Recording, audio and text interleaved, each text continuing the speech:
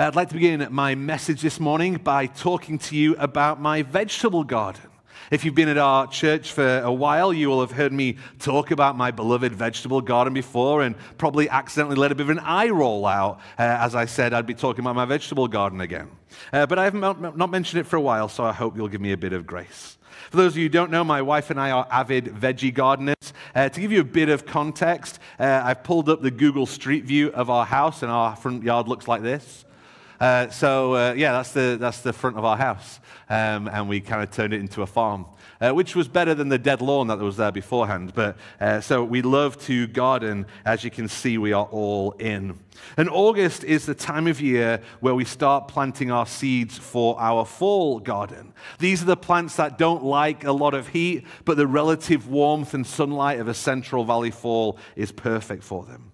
Uh, right now, we have our little seedling area set up. So these are all our seedlings, some of them already in the ground as well. These are our seedlings uh, right now. Uh, we've got broccoli and cabbages, cauliflower, rutabaga, lettuce. Uh, what else we have? Beets, lettuce, chard, and all kinds of other yummy leafy greens. And because they're all seedlings, they all fit on this one table right now.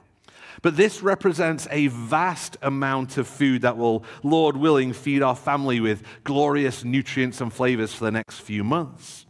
And while all that looks like a lot, it's actually not that much work. It requires intentionality and a plan, but for those seedlings, all I have done is put some dirt in some trays or pots, poked a hole, dropped a seed in, and made it wet. That's it. That's all I had to do. It's not a huge amount of effort.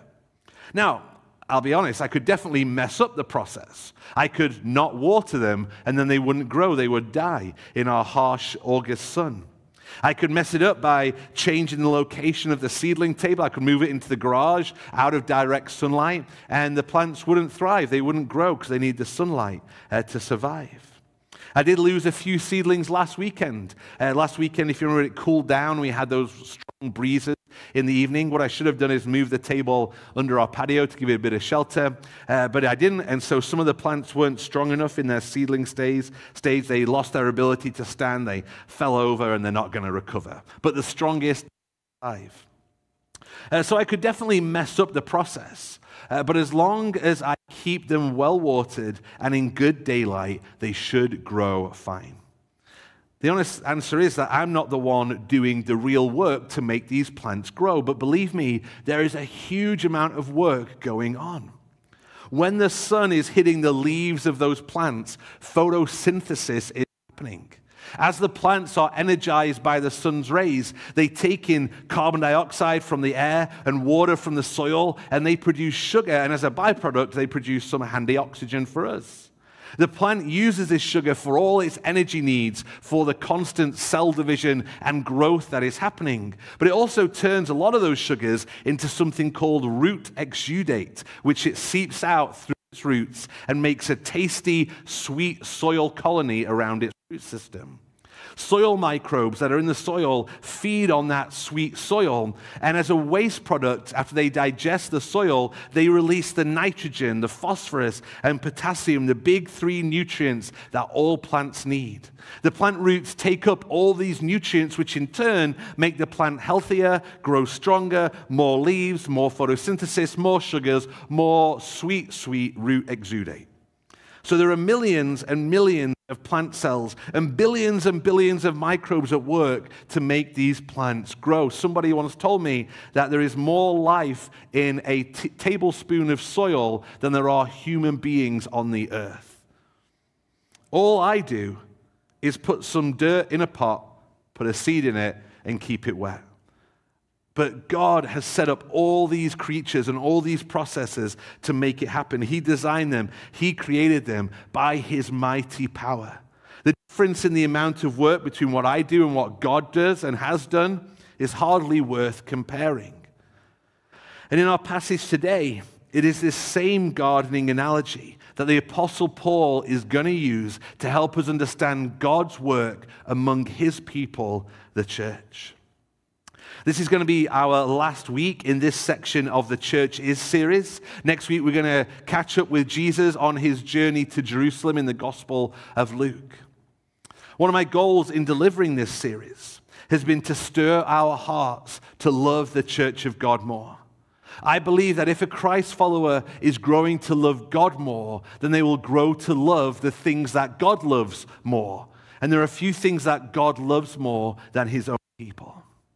And so a growing Christian will have a growing love for the church. And I don't just mean the, the big C church, the whole congregation of God's people throughout the world and throughout history, though an appreciation of the big C church will also grow.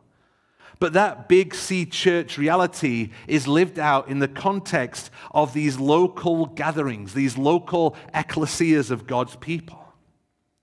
And my desire is that we would all become more passionate about our particular church family and to live out our calling as a church family.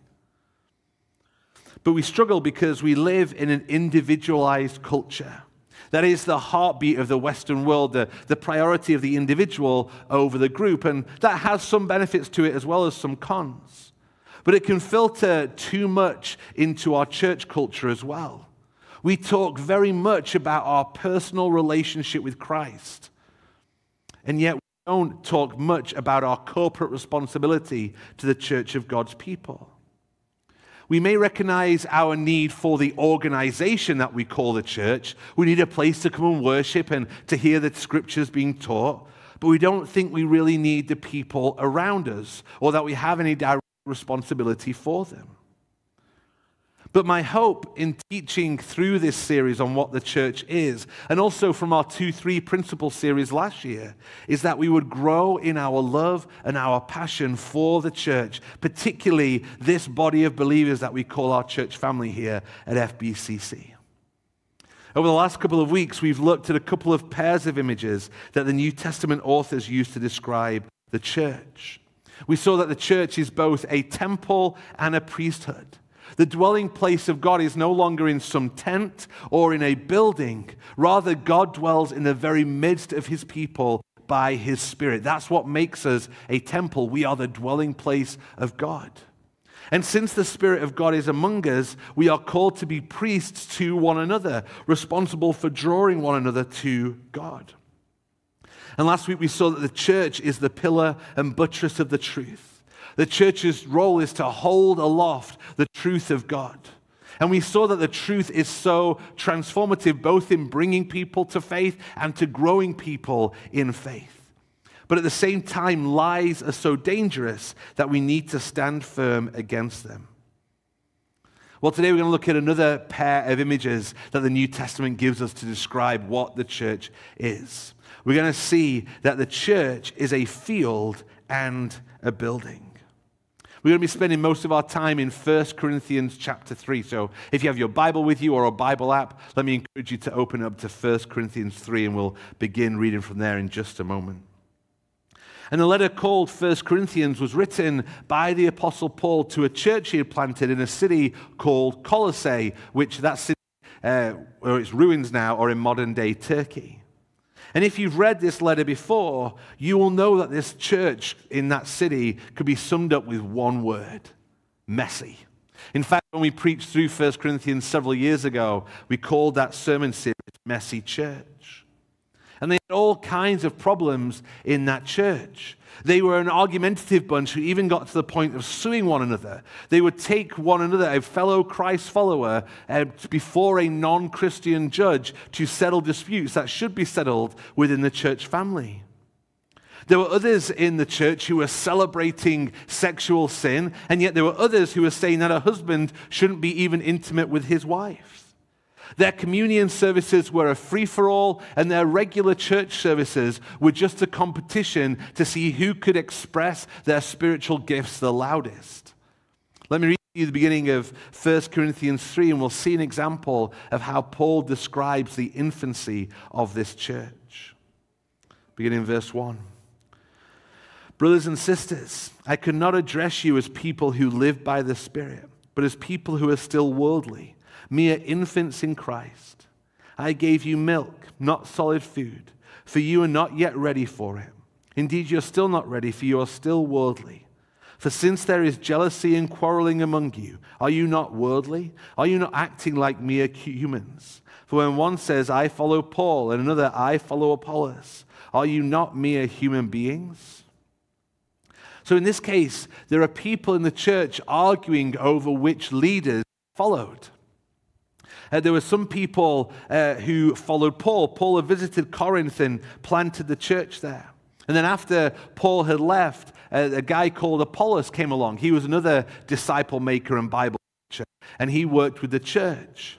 And so there were some who claimed that they were more of a Paul fan. Others claimed they were more of an Apollos man. Earlier in the letter, we find that there were even people who tried to play the trump card by saying they don't follow any human leader, they only follow Jesus. But Paul utilizes this argument that they're having to teach about the role of leaders in the church and even the role of all God's people in the work of God's kingdom. And we'll see Paul first use this analogy that the church is a field. Let me read the next few verses of 1 Corinthians 3 for us. What, after all, is Apollos? And what is Paul? Only servants through whom you came to believe as the Lord has assigned to each his task. I planted the seed, Apollos watered it, but God has been making it grow. So neither the one who plants nor the one who waters is anything, but only God who makes things grow. The one who plants and the one who waters have one purpose, and they will each be rewarded according to their own labor. For we are co workers in God's service. You are God's field. So we can see a few truths about the work of God's kingdom in these verses. Firstly, we see what the work of the servant is, and that's in verses 5 and 6. After all, is Apollos, and what is Paul? Only servants, only servants through whom you came to believe, as the Lord has assigned to each his task. So rather than the believers in Corinth arguing over which of these leaders they think is best, they need to realize that all these leaders are only servants. You can realize how ridiculous this is if you put it in the context of a music concert. Whether you're a Swifty or whether you get more excited when the Eagles come into town, when you go to a concert, you go to watch the star of the show. But imagine going to a concert with a friend, and instead of watching the performance, you spent the whole time arguing over which roadie was running the cables better. You're at a concert to watch the musicians, but you're arguing over the servants. Similarly, the believers in Corinth shouldn't have been arguing over Paul and Apollos. They are just the Lord's roadies, they're just the Lord's servants. Instead, they should have their focus and attention on the Lord Himself. The word servant is one of the words that Paul commonly uses to describe himself. Given his spiritual prowess and his fame, it could be easy for him to become conceited and filled with pride. But he kept reminding himself and others that he was just a servant of the Lord. This is from Philippians chapter 1 verse 1. Paul and Timothy, servants of Christ Jesus. And his introduction to Titus, he says, Paul, a servant of God and an apostle of Jesus Christ. And as a servant, Paul recognizes that his job is only to do the task that the Lord assigned to him. And in verse 6, Paul draws on this analogy of growing plants. He says it was his job to plant the seed. He was the first one to show up in the city of Corinth with the gospel, and he shared the gospel there and began the work of making disciples and planting a church. But that was just him fulfilling the task that the Lord had assigned to him.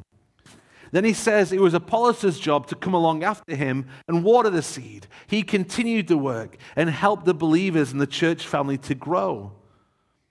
But these guys were just fulfilling the tasks that the Lord had assigned to them.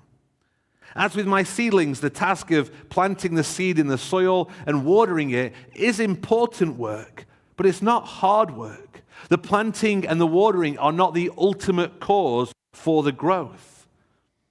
Now, I recognize that preaching the gospel and discipling people is much harder work than putting a seed in some soil and pouring water in a seed tray. Because of his work as a servant, Paul faced persecution and imprisonment. I tend not to make many enemies when I'm planting broccoli seeds.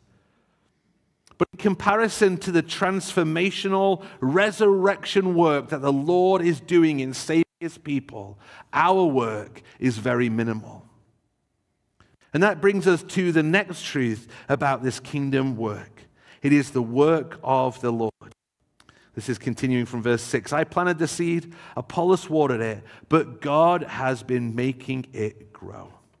God has been making it grow. Just like the seeds in the soil grow by the creative design power of our creative God, so God's people sprout and grow by His power and His power alone. That means that we cannot we cannot make people grow. It is literally impossible for us to make somebody become a believer. It's impossible for us to make somebody grow in their faith. That is the work of the Lord and the work of the Lord alone. No matter what we do, we cannot make this happen. No sermon I could give could ever transform somebody from death to life. No Bible study you ever do would ever be able to help you grow by itself. Sermons, Bible studies, and things like that are things that God often uses to help people grow, but it is all a work of God. It is impossible for us to manifest this of our own will. And while that may sound defeating, it is actually the single biggest truth that brings freedom in our work for the Lord. The ultimate result of the work is not up to us. It is beyond our power. It is above our pay grade.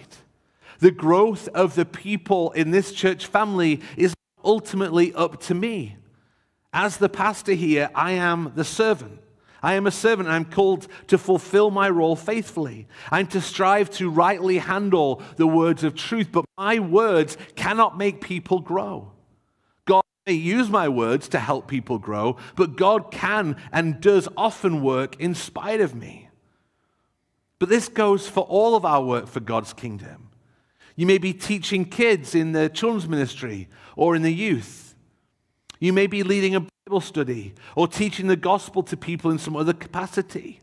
But it's not your role to make growth happen. That is beyond your capability. That is God's role. If you've got kids at home, I hope you're striving to raise them in the Lord. But their growth is ultimately not up to you, it's not your role. You ought to be a faithful servant and to obey the calls that God has for you as parents to raise your kids in the knowledge and fear of the Lord, but you cannot cause growth. You can only do the work of planting and watering. And this is even true in our evangelism. If you're praying and seeking to share the gospel with a loved family member or friend, it is absolutely impossible for you to save them. You do not have the ability to open their blind eyes. You do not have the ability to raise them from death to life. All you can do is faithfully share the gospel with them and pray. That is our role. And it is absolutely freeing. Because imagine if it did depend on you. Imagine if the eternal souls of your kids, your family, and friends, and your brothers and sisters in church depended on you perfectly fulfilling your role. That would be a crushing weight to bear. But God gives us a few relatively simple tasks to do. And it is, it is the work of the Lord and the work of the Lord alone that causes growth. But even though it is the Lord who does all the heavy lifting in this work, he still promises a reward for our faithfulness. That's the next truth we see about the kingdom work of God in verses 8 and 9.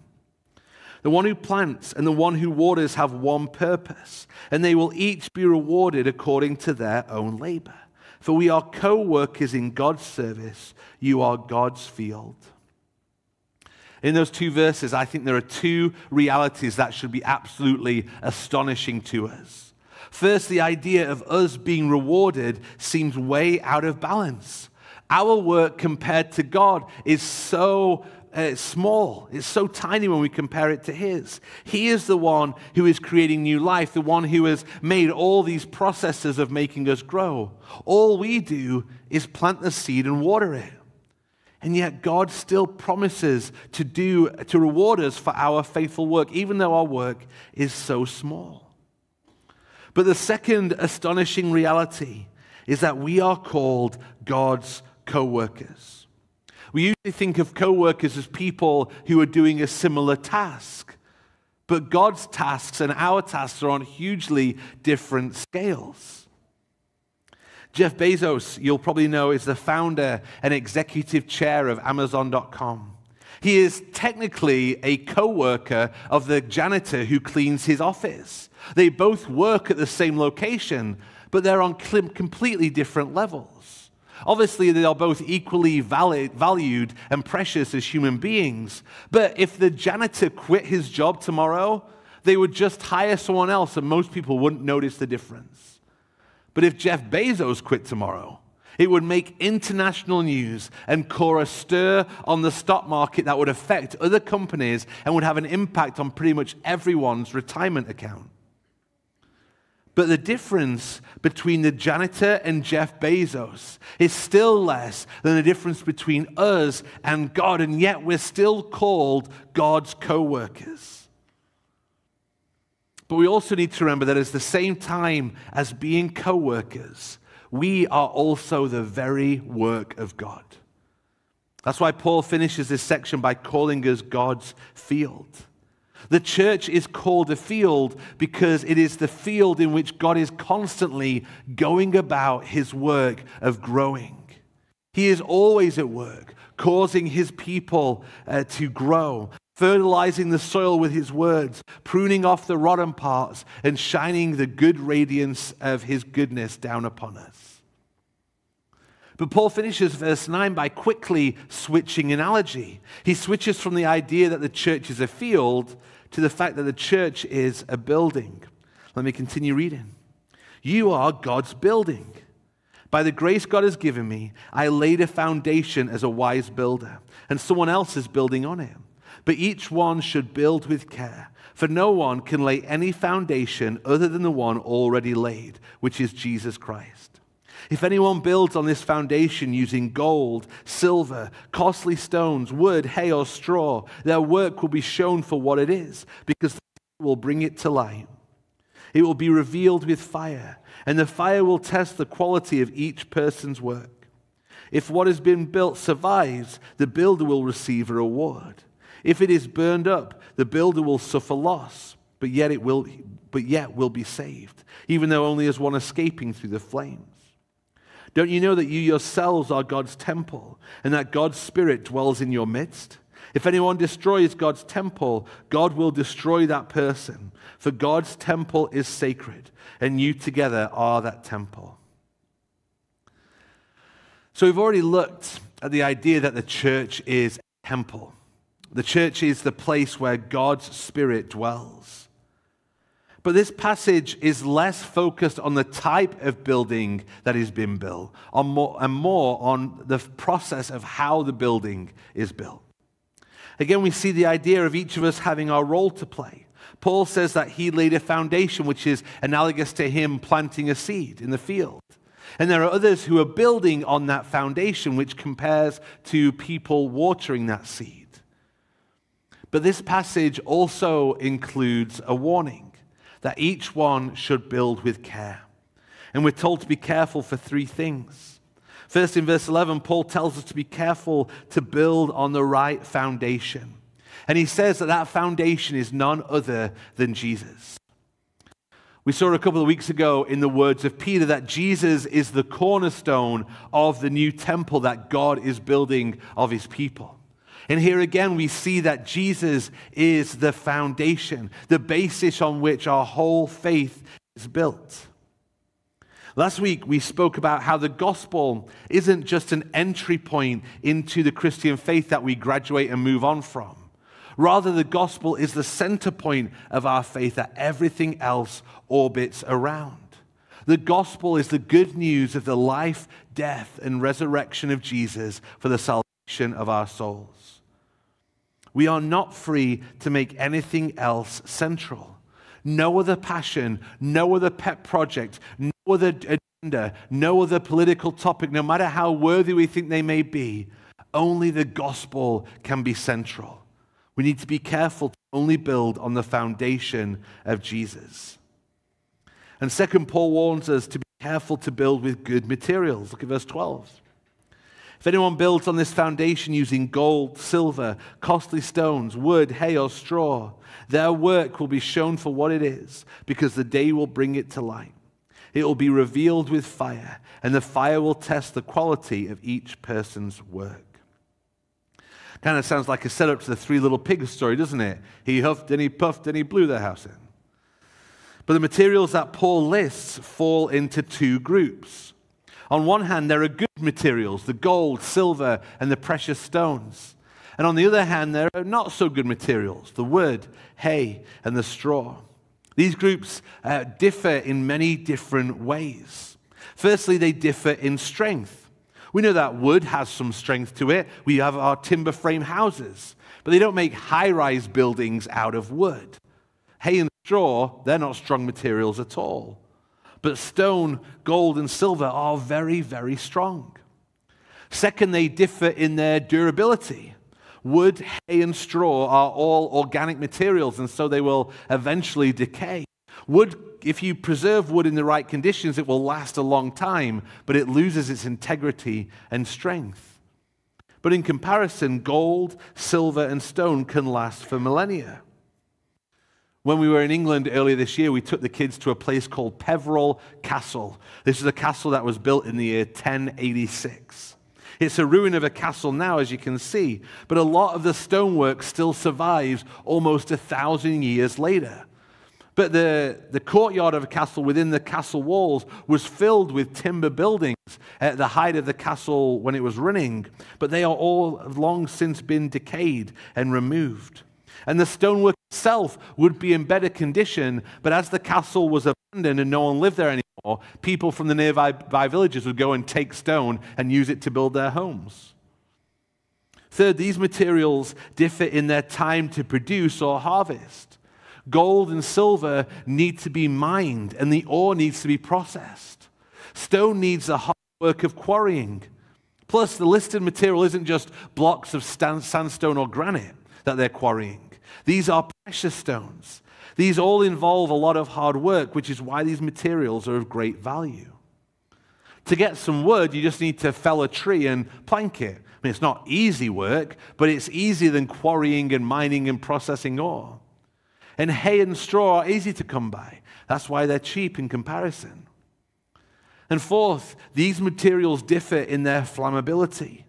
Notice how one group are extremely flammable hay, straw, and wood. We use wood for one of the primary reasons we use wood is for building a fire. But the others are far less flammable stone, silver, and gold. In fact, instead of being destroyed by fire like the other materials, these materials can often be refined by fire. And so, as we build on the foundation of Christ, we need to be careful that we're building with the right materials because it will only be truly brought to light on what Paul calls the day. The day will bring it to light. On the final day, our work for the Lord will be tested by fire. The flammable materials will burn up, but the strong materials will prove solid. Now, Paul doesn't tell us exactly what he is thinking of in these different categories of materials. He doesn't say the hay represents this, the gold represents this. But let me give you one example of where my mind goes as I think about these things. As we parent, it's important to ask ourselves what we're building into the lives of our kids, what we're building up our kids with. What materials are we using to build lives of our children? Are we using the enduring truth of God's word or are we using the values of this world? While we never say it's our intention, we can often fall into the mistake of building and training our kids to believe that the most important thing in life is wealth and success. By how we encourage their schooling and activities, by what we tell them off for, and how we parent in general teaches our kids what is important. We know that wealth and success are not ultimately the best thing for our kid. We know that wealth is not guaranteed to be durable. We know that wealth doesn't bring joy. And yet it can be so tempting for us to pursue it and train our kids that this is the most important thing. We can unintentionally be building with the wrong materials. So we need to be careful. Finally, Paul warns and maybe even encourages the believers to be careful to build for the reward. Verse 14. If what has been built survives, the builder will receive a reward. If it is burned up, the builder will suffer loss, but yet will be saved, even though only as one escaping through the flames. We should live our lives on this earth for a reward in the next life. It can be tempting to think that doing something for the purpose of reward is the wrong motivation. We should be doing these things just because they're the right thing to do. But that's not what the Bible calls. In fact, the Bible repeatedly calls us to pursue the reward that awaits those who are faithful in their work for the Lord. When our work is tested, if it survives, we will receive a reward. Again, like we mentioned when we looked at the idea of being rewarded as God's faithful servants in the field, this idea of reward should be astonishing to us. It is far from what we deserve and is all an act of God's grace. But if our work fails the testing of fire, if we've been building with the wrong materials, then our work will be proven for what it is it'll be shown to be worthless. Note how Paul clarifies that this isn't a determinant of our salvation. It's not the person getting burned. You will still be saved, but the things you've been living your life for will prove to be worthless. So we should be careful to build on the right foundation with good materials that endure and survive so we can receive the joyous reward for our labor. So, to wrap up this morning, we have seen how the church, how the ecclesia, how the people of God is compared to a field and a building. And, there are two truths that I want us to take home this morning from this. Firstly, I want us to take home that God is at work. With both these analogies, we see a God who is constantly working on and among and through his people. He is the master farmer who makes things grow. He is the master builder who gives us the plans and our roles. We are just servants doing our assigned tasks. Ephesians 2 8 through 10 says, For it is by grace you have been saved, through faith, and this is not from yourselves, it is the gift of God, not by works, so that no one can boast. For we are God's handiwork created in Christ Jesus to do good works, which God prepared in advance for us to do. We are saved by grace, not by our own works, because we are God's handiwork. We are God's project. We are the work of God. And Philippians 1 6 says, He who began a good work in you will carry it on to completion until the day of Christ Jesus. Notice how there's no uncertainty here. Because, God began his good work in you, he will, he promises to carry it on to completion, to complete that work in you. God loves to work in the field of his people, feeding, fertilizing, pruning, and harvesting. He loves to work on the building of his church, shaping each living stone to fit perfectly on the foundation of Jesus. God is always at work in us and through us. So, where do you see God at work in your life? Where do you see God at work in your life? If God is working, like these passages teach, where is He working? What area is He working on in your life right now? How is He changing your behavior and your attitude? How is He changing your thinking, your outlook? How is He proving Himself faithful to you? And we can ask Him, we can invite Him to work more in us. When was the last time you asked God to work on your life? When did you last ask God, uh, invite God to change you and make you more into His likeness? When did you last surrender to the process of God's work? And the second truth I want us to be reflecting on is not only that God is at work, but we are invited to work with Him. God is at work, and He invites us to join him in that work with him. Again, this should be astonishing that God would choose to use us. Does God need us? No way. Does God delight to use us? Absolutely. In all our brokenness and sinfulness and weakness, God delights to work in and through his people. He takes great joy in taking the weak and foolish things of this world and doing wonderful things through them that only His power can do. If you are a follower of Jesus, then you are invited into this work. But the thing we need to be careful of is that if we don't get involved in God's building work, this does not mean that you've now removed yourself from the building business. Whether you like it or not, you are building something with your life. You are working in some field. And so, how are you at work in God's field for His kingdom? If someone were to ask you, what is the appointed task that God has for you in His field, what would you say? If you don't know the answer to that question, then I hope and pray that this question will take root in your heart and in your mind until you figure it out.